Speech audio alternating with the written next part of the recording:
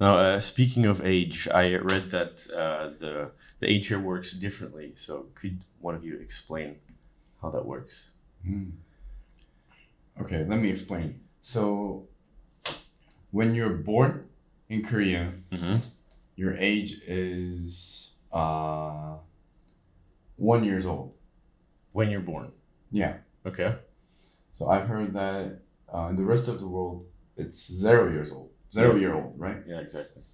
And we count birth when you're in your um, mom's belly. Mm-hmm. So that's zero year old for us. Mm-hmm.